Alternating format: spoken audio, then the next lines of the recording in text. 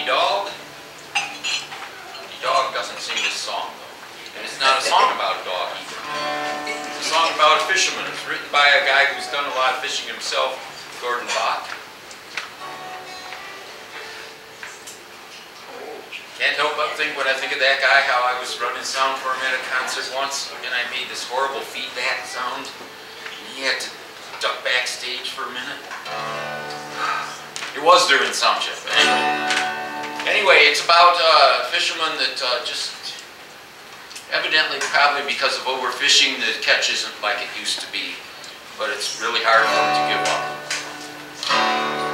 It's called Mrs. McDonald's Lament. I think the fisherman